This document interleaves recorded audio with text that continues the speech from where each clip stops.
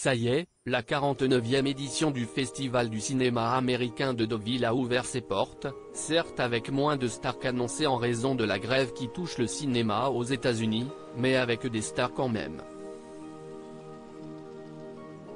Parmi elles, Judith Godrèche venue accompagnée de ses deux enfants Noé Boone, Tess Barthélemy.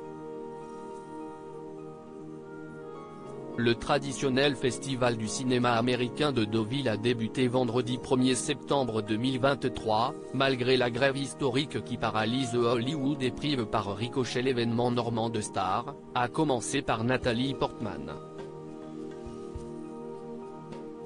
Mais qu'importe, les stars françaises étaient-elles bien au rendez-vous? Sur le tapis rouge, Guillaume Canet, président du jury, mais également Mélanie Thierry la présidente du jury Révélation.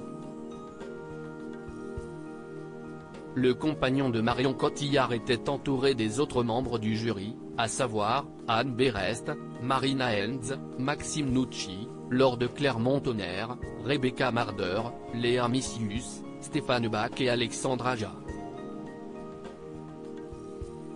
Suit les pas de ses parents et déjà très à l'aise sur tapis rouge parmi les stars françaises présentes sur le tapis rouge de l'ouverture du Festival du cinéma américain de Deauville, l'actrice Judith Godrèche. Sublime dans un tailleur crème, la comédienne de 51 ans ne s'est pas présentée seule devant les photographes mais était accompagnée de ses deux enfants, Tess Barthélemy, très à l'aise devant les photographes dans sa robe noire, et Noé Boone qui ont respectivement pour parents le comédien Maurice Barthélemy et l'acteur et réalisateur Danny Boone. Judith Godrèche s'est mariée à ce dernier en août 1998 après leur rencontre sur le tournage du film Bimboland. De leur mariage est né Noé le 4 septembre 1999, un jeune homme discret que l'on ne voit presque jamais et qui fêtera donc ses 24 ans lundi prochain.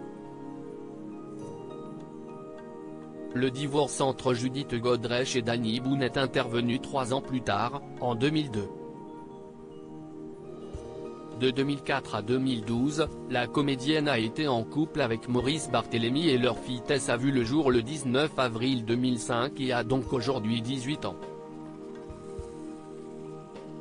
Judith Godrèche n'était pas la seule à être venue en famille sur le tapis rouge du festival de Deauville hier soir puisqu'Audrey Dana était-elle accompagnée de son fils Lee, né en 2008 et qu'elle a eu son ex-mari Mabrouk El Mekri. Par la suite, le réalisateur a été en couple avec l'actrice belge Virginie Efira avec qui il a eu une fille prénommée Ali, née en mai 2013.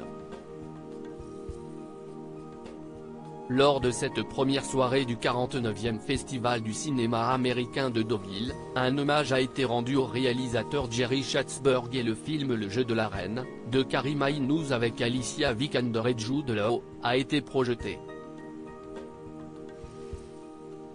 Et si Judith Godrèche se trouve dans le Calvados, si est pour représenter sa mini-série Icon of French Cinema qu'elle a réalisée et dans laquelle joue sa fille Tess.